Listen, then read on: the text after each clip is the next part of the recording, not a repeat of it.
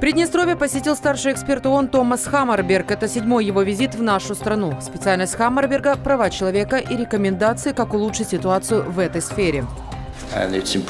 Особо отметил те улучшения, которые произошли в области прав людей с ограниченными возможностями, поскольку эти люди страдают в любой стране мира. Очень важно, чтобы в обществе понимали, с какими проблемами эти люди сталкиваются и относились к ним соответственно. И еще огромный прогресс есть, который я бы хотел отметить, касается людей, которые содержатся в досудебных учреждениях, досудебном аресте. Еще пять лет назад эксперт подготовил специальный отчет о соблюдении прав человека в Приднестровье. Рекомендации нынешнее руководство республики проанализировало. Есть существенное движение вперед, говорит Хаммерберг. В новом докладе 40 страниц рекомендаций и предложений. Свой документ Томас Хаммерберг презентовал на встрече с приднестровскими общественниками. На трассе Чернигов-Городня Синяковка на мосту через реку Тетива произошла трагедия. В автобус Тирасполь-Москва въехала фура. Управлял грузовым автомобилем гражданин Сербии. Водитель фуры не уступил приоритет.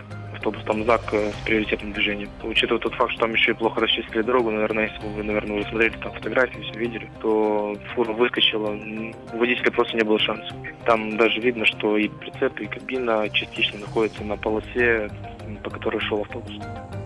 В результате ДТП погибли два человека. Это водители и автобуса, и фуры. Водитель-сменщик шофера автобуса выжил. Еще двое пассажиры получили травмы, помощь им оказали на месте. Одному потребовалась госпитализация, у него черепно-мозговая травма и подозрение на разрыв селезенки. В больнице Чернигова состояние пострадавшего сейчас оценивают как стабильное. Известно, погибший шофер нашего автобуса за рулем десятки лет. Практически всю жизнь работал в системе пассажирских перевозок. ДТП со смертельным исходом в Днестровске. В районе ГРЭС водитель Nissan Премьера превысил скорость и не справился с управлением и врезался в дерево. От удара машину разорвало на части. Мужчина умер на месте.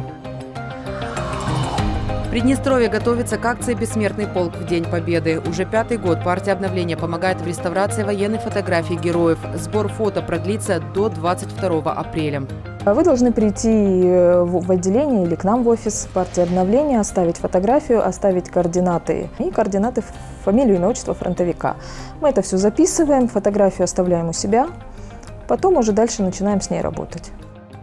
И уже когда готова фотография, мы звоним, приглашаем Бессмертный полк охватывает более 80 стран. В Приднестровье акция впервые прошла в 2015-м в честь 70-летия Великой Победы. В прошлом году в обновлении отреставрировали порядка 2000 фотографий. Новый пляж у подножья Бендерской крепости появится уже летом. Раскинется зона отдыха на 5 гектаров. Участок разделят на зоны. Сам пляж, а еще спортивные детские площадки и место для барбекю. Сама территория участка, она как бы природой создана для пляжа. Потому что, во-первых, рельеф пологий, второе, почва песчаная, третий, он ориентирован на юг.